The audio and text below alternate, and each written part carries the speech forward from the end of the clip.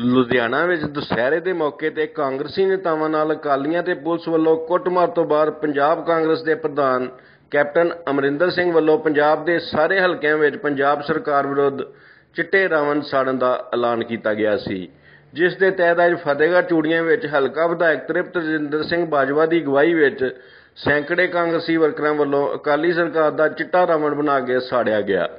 ਇਸ ਮੌਕੇ ਤ੍ਰਿਪਤ ਬਾਜਵਾ ਨੇ ਕਿਹਾ ਕਿ ਅਕਾਲੀ ਸਰਕਾਰ ਆਪਣੀਆਂ ਖਾਮੀਆਂ ਨੂੰ ਲੁਕਾਉਣ ਲਈ ਲੋਕਾਂ ਤੇ ਜ਼ਬਰ ਕਰ ਰਹੀ ਹੈ।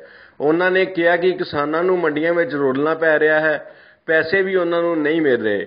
ਪੰਜਾਬ ਦਾ ਹਰ ਇੱਕ ਵਰਗ ਸਰਕਾਰ ਖਿਲਾਫ ਅੰਦੋਲਨ ਕਰ ਰਿਹਾ ਹੈ।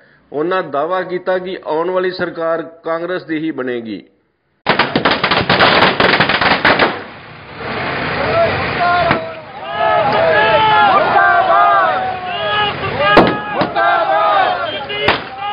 ਮੁਰਦਾਬਾਦ ਚਿੱਟਾ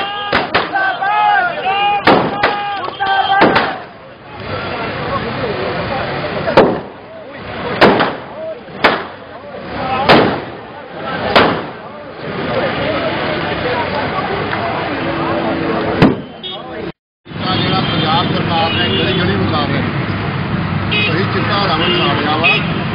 ਤੇ ਲੋਕਾਂ ਨੂੰ ਸੰਦੇਸ਼ ਦੇਣਾ ਚਾਹੁੰਦਾ ਵੀ ਸਰਕਾਰ ਕੋਲ ਬਚੋ ਜਿਹੜੇ ਰਾਵਣ ਸਾੜਿਆ ਇਸ ਲਈ ਸਰਕਾਰ ਨੂੰ ਜੋੜੋ ਪੁੱਟ ਪਰੇ ਮਾਰੋ।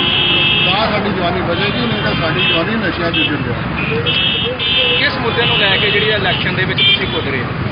ਮੁੱਦੇ ਨੂੰ ਲੈ ਕੇ ਚਿੱਟੇ ਨੂੰ ਮੁੱਦੇ ਨੂੰ ਲੈ ਕੇ ਨਾ- ਕਰਾਂਗੇ। ਜੋ ਘਪਲੇ ਹੋਏ ਨੇ ਹੁਣ 20 30 ਹਜ਼ਾਰ ਕਰੋੜ ਰੁਪਏ ਦਾ ਤੇ ਅਨਾਜ ਦਾ ਘਪਲਾ ਕਰਕੇ ਨੇ। ਇਹ ਜੋ ਘਪਲਾ ਵਾ ਜੋ ਚਿੱਟੇ ਦਾ ਮਸਲਾ ਵਾ ਜੋ ਰੇਤ ਦਾ ਮਸਲਾ ਵਾ ਜੋ ਦੁਨੀਆਦਾਰੀ ਸਾਰੀ ਦੀ ਦੁਕਾਨਦਾਰੀ ਫੇਲ ਹੋ ਗਈ ਹੈ। ਝੋਨਾ ਨਹੀਂ ਚੁੱਕਿਆ ਜਾ ਰਿਹਾ। 14 ਸੈਕਟਰ ਵਾਲੇ ਜਿੱਤੇ ਖਾਣ ਦੇ। ਸੋ ਇਹ ਸਾਰੇ ਮਸਲੇ ਬੇਹਿਸਾਬ ਨੇ। ਤੇ ਆਸ ਆ ਵੀ ਲੋਕ ਸਾਡਾ ਸਾਥ ਦੇਣਗੇ। 4000 ਰੁਪਏ ਏਕੜ ਦਾ ਤੇ ਖੇਤਾਂ ਨੂੰ ਕਿਸਾਨਾਂ ਨੂੰ ਨੁਕਸਾਨ ਹੋ ਗਿਆ ਸੋ ਵਧੀਆ ਹੋਵੇਗਾ ਪਰਮਾਤਮਾ ਮਿਹਰ ਕਰੇਗਾ ਤੇ ਚਿੱਟਾ ਨੂੰ ਜੋ ਪੰਜਾਬ ਦੇ ਕੋਲ ਜੜੋਂ ਮੁਕਾ ਦੇ ਬਾਇਆ ਸਾਹਿਬ ਝੋਨਾ ਵੀ ਚੁੱਕਿਆ ਨਹੀਂ ਜਾਣ ਡਿਆ ਮੰਡੀਆਂ ਦੇ ਵਿੱਚੋਂ? ਚੁੱਕੇ ਨਾਲ ਗੱਲ ਜਦੋਂ ਮਿਲਦਾ ਨਹੀਂ ਪਿਆ। ਆਪਣਾ ਮੰਡੀਆਂ 'ਚ ਧੱਕੇ ਖਾ ਰਹੇ ਆ ਕਿਸਾਨ। ਇਹ ਵੀ ਸਰਕਾਰ ਸਾਡੇ ਕੋਲ ਆਏਗੀ ਤੇ ਇਹ ਵੀ ਹੱਲ ਕਰਾਂਗੇ। ਤੇ ਤੁਹਾਨੂੰ ਕਿੰਨੀਆਂ ਆਸ ਨੇ ਵੀ ਸੀਟਾਂ ਜਿਹੜੀਆਂ ਪੰਜਾਬ ਦੇ ਵਿੱਚੋਂ? ਇੱਕ ਪ੍ਰਾਈਵੇਟ ਚੈਨਲ ਦੱਸ ਰਿਹਾ ਵਾ ਕਿ ਕਾਂਗਰਸ ਨੂੰ ਪਹਿਲੇ ਨੰਬਰ ਤੇ ਆਪ ਨੂੰ ਨੰਬਰ ਤੇ ਕਾਂਗਰਸ ਨੂੰ ਉੱਤੇ ਜਾਣਾ ਵਾ। ਵਧੀਆ ਸਰਕਾਰ ਬਣਨੀ ਹੈ। ਧੰਨਵਾਦ ਪੰਕਜ ਪਾਂਦੀ ਦਿਵਿਆ ਪੰਜਾਬ ਟੀਵੀ ਫਤਿਹਗੜ੍ਹ ਚੂੜੀਆਂ।